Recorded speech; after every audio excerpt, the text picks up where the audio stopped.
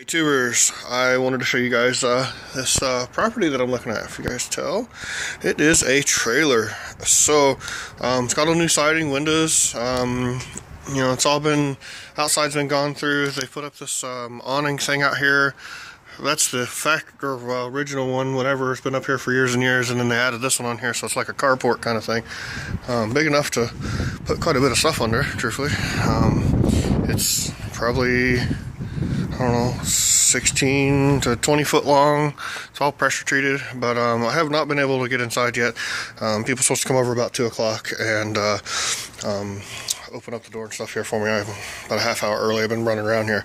But um, this is one of the issues that I've run into.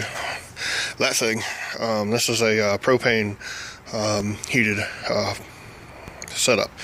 So, but the thing is, is this is one of those deals that's damn near too hard to turn down um, because a lady that was in here passed away and uh, they are wanting to get rid of the property um, pretty quickly and I am able to take the property pretty quickly.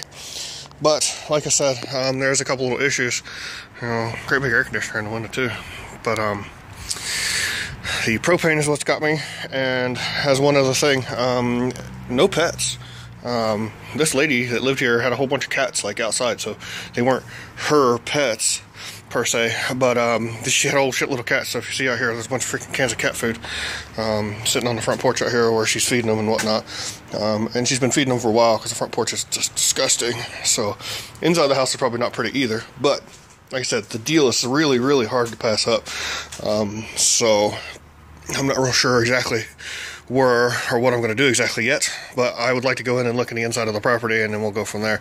Because um, what little bit I can see in it, it looks as though everything is still in the house, and I don't think it's been very long that there hasn't been anybody in it. So there's a kitty back there. There's a pretty kitty. I think they're hungry because the lady's supposed to come over here in a little bit and feed the kitties. So, yeah. But anyhow, um, let's see what's going on with this thing, and um, I will get back to you guys here in a little bit and let you guys know what the hell, what I've decided, because um, I'm not real, real for sure. I need to uh, talk to a couple people too. So, but um, outside the property is real nice. Of has a new roof and stuff on it. Um, you put that new roof on here, and then got an antenna back there. So, skirting is you know ancient history, but you know it's just the way she works, so no worries. Um, but where it's at, I mean, it's not a bad area or anything. So, but okay. Until next time, guys. I'll get you guys back out here in a little bit.